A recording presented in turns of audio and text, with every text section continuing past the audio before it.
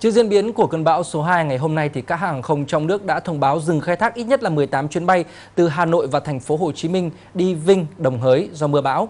Cụ thể thì Vietnam Airlines thông báo là dừng khai thác 4 chuyến bay từ Hà Nội và thành phố Hồ Chí Minh đi Vinh vào chiều tối ngày hôm nay 16 tháng 7.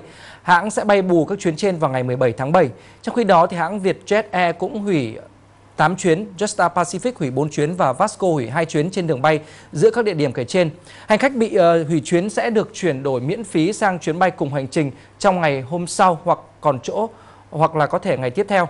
Các hãng hàng không cũng khuyến cáo hành khách đến và đi từ các sân bay Nội Bài, Cát Bi, Thọ Xuân, Vinh, Đồng Hới, Phú Bài, Đà Nẵng. Trong thời gian này thì cần cập nhật tình hình thời tiết và thông tin nhằm chủ động trong lịch trình đi lại.